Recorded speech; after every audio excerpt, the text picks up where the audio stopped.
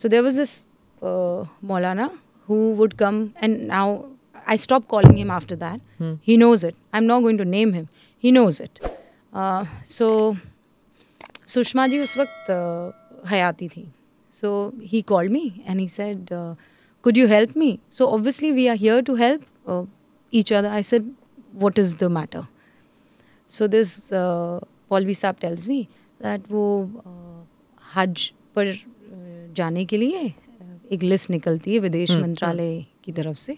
So if you could help us so I said ये तो सब आपका काम है करना क्या है? तो उन्होंने कहा बस आपको uh, किसी तरह आप मंत्रालय में if you could you know kind of put in a word for us कि ये इतना बड़ा जत्था है and if that could be done तो मैंने कहा I really don't know how it is done I I will try to figure out and then the next nine he says दो आप कमा लेंगी.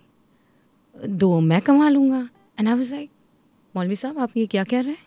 एंड ही रियलाइज़ दैट ये तो गड़बड़ हो गई है। मैंने कहा आपको कोई शर्म हया नाम की चीज़ है?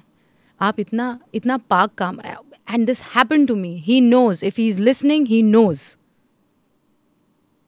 and he still goes in the TV debates. And he talks about Islam. And I'm, I'm saying it today uh, at Smita's uh, podcast that I will name you someday and I'll shame you so that uh, this country knows that who they are dealing with.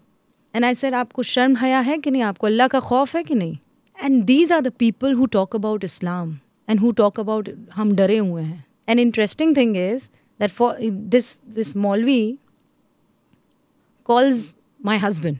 He says वो बहुत आजकल नाराज़ रहती हैं अ, वो आजकल बुला नहीं रही हैं। And then he says she ये वो जाने?